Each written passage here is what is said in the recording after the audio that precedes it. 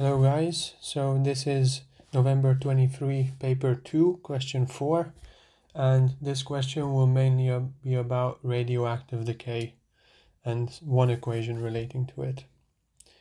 So we are given this uh, reaction and in the first part of the question we need to identify X. So we technically need to determine its nucleon and proton number.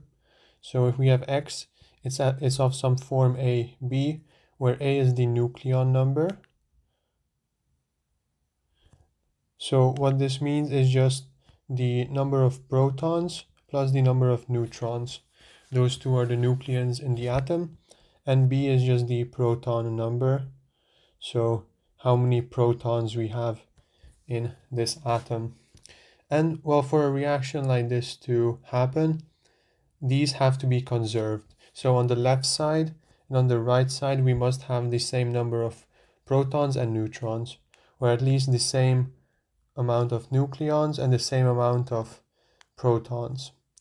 So if we see here, we can see that we have nine protons on the left and fluorine already has nine protons. So X must have zero protons for that, for that equation to satisfy. And if we look at the nucleon numbers, we have 19 up here and we have 18 here. So we need another one. We need another nucleon for X so that the reaction is correct. So this will be the this will be X and this is what is called a neutron. So it has a one neutron and zero protons as again this is the nucleon number. So in total it has one neutron and proton but from the lower number we see that it has no proton so it must be a neutron. And then the second part wants us to explain why the proton must be traveling at a high speed for this process to occur. Well first of all it's important to notice that for this for these types of reactions we need the nuclear force. We need a strong nuclear force. Nuclear force. And it's important that this force has a very short range. So for this force to kind of like work, it has to be really close. The atoms have to be really close to each other. So that means if we have like the nucleus here. And we have some proton traveling this way. It has to be really close to the to the nucleus for this reaction to happen as it's this reaction happens by the strong nuclear force. But if it has to be really close so it has to be close. But if it's really close then they're here like over here, there's going to be electrical potential energy simply because they're both charged. Because the, nu the nucleus also has positively charged protons. And this is also a positively charged proton. So these will repel each other. Repel each other. And we know that we can calculate the potential energy. We don't need to, but we see that the electrical potential energy is just K big Q over small q divided by R. So we see that if we have a small radius, then we have a large potential energy. So if we have a, so for the proton to come really close, it must have a large potential energy when it reaches the nucleus. And well, how can it have such high potential energy? Well, it has to have a very high speed at the beginning.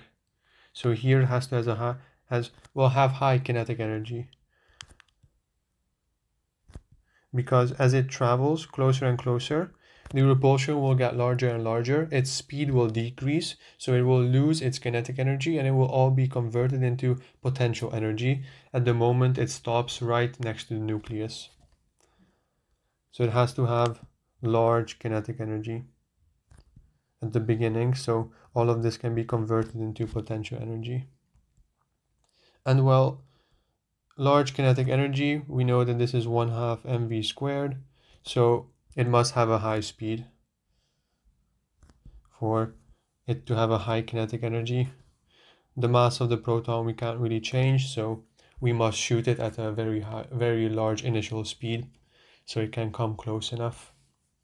So that is why it must travel at a high speed.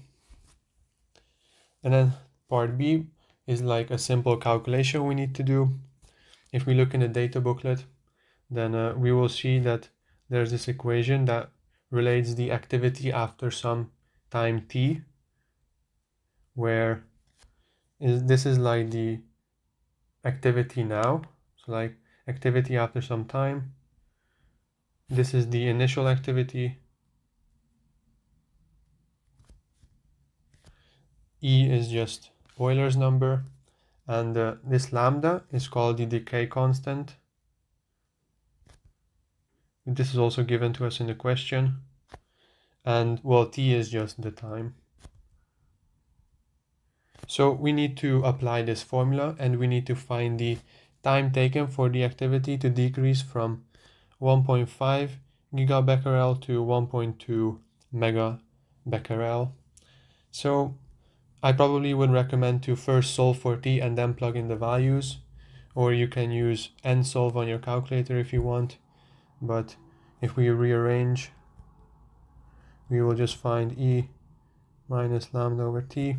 Then we can take the natural log of both sides to get rid of the power in the e.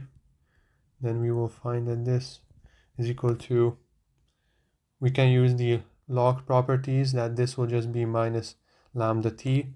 As if we take the natural log of this expression, we can take out the power to the front. And so this will just be minus lambda t times the natural log of e, which is just 1. So we're left with minus lambda over lambda times t.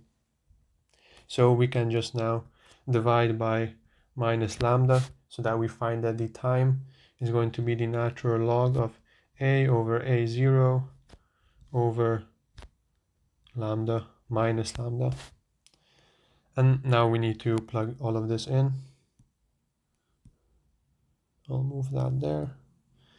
And then it's just important as the last step to uh, mind the units.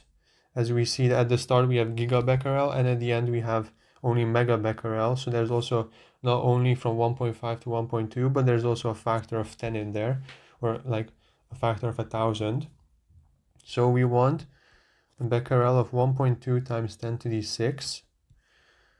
And initially we had 1.5 times 10 to the 9 becquerel. So I just converted both of them to becquerel so we can do the division. Because obviously if we want to divide the two, then they must have the same units. And then this is just 1.1 times 10 to the minus 4 per seconds. So this will give us 6.5 times 10 to the 4 seconds. And if you would want, you can convert this to hours, which would approximately be 18 hours. So that's how much time it will take for the activity to decrease. And then that's, this was about it. The next parts of the question were all part of the old syllabus. We don't need to know this anymore. It's not taught in IB anymore from the 2025 exams. So this was about it and see you in the next one.